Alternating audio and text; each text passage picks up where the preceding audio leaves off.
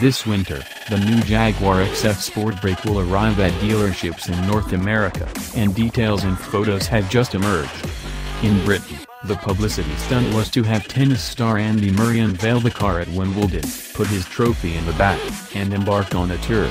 Here in America, there's no grand reveal, but this is big news for those of us still hung up on the XJS-faced Lynx Eventer shooting brake of the 1980s.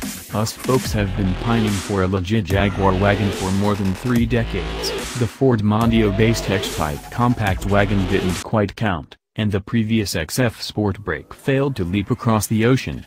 While the F-Pace may have mollified some with a Jones for a luxurious Brit with a rear hatch, true wagon aficionados won't be appeased by a crossover. At $71,445, the XF Sportbrake's pricing starts at around 8 large more than its chief competitor for American hearts and minds, the vaunted, and freshly redone, Mercedes-Benz E400 4MATIC wagon. Like the Benz, the Jag features a V6 with forced induction.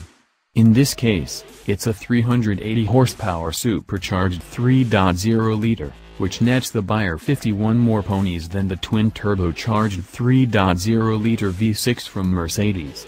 Like the Daimler product, the Sportbrake arrives here properly equipped to combat winter traction issues with standard all-wheel drive. Home News 2018 Jaguar XF Sportbrake, a slinky wagon headed for the States. Official photos and info. View 36 photos. Official photos and info. 2018 Jaguar XF Sportbrake, a slinky wagon headed for the States. The death of the station wagon will have to wait a little bit longer. June 2017 by Davey G. Johnson. Share. Tweet. This winter, the new Jaguar XF Sportbrake will arrive at dealerships in North America, and details and photos have just emerged. In Britain, the publicity stunt was to have tennis star Andy Murray unveil the car at Wimbledon, put his trophy in the back, and embark on a tour. Here in America, there's no grand reveal, but this is big news for those of us still hung up on the XJS-based Lynx Eventer shooting brake of the 1980s. Us folks have been pining for a legit Jaguar wagon for more than three decades. The Ford Mondeo-based X-Type compact wagon didn't quite count and the previous XF Sportbrake failed to leap across the ocean. While the F-Pace may have mollified some with a Jones for a luxurious Brit with a rear hatch, true wagon aficionados won't be appeased by a crossover.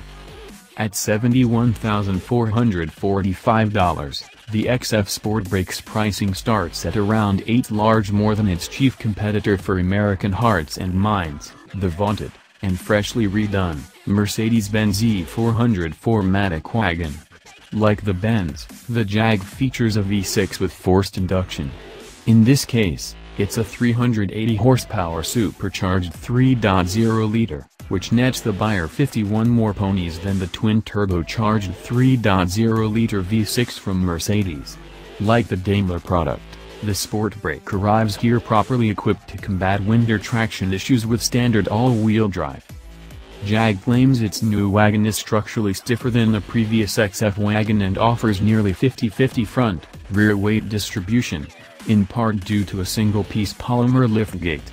Up top, the body will support more than 220 pounds mounted on the roof, which should excite both kayakers and fans of outsized Christmas trees routing its 332 pounds-to-foot of torque through the ubiquitous ZF 8-speed automatic transmission, the blown 6 will pull the Sportbrake to 60 miles per hour in a claimed 5.3 seconds, which, coincidentally, is exactly what Mercedes asserts on behalf of its E400.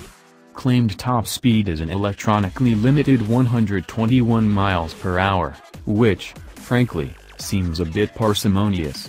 After all, an XK120 managed 135 miles per hour in 1949.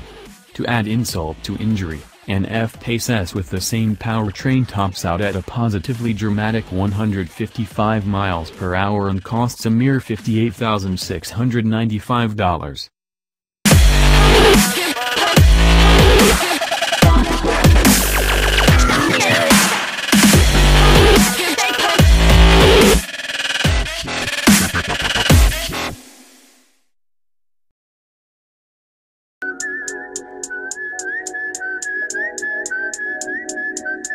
Rob Stone, two damn phones, Babylon's came.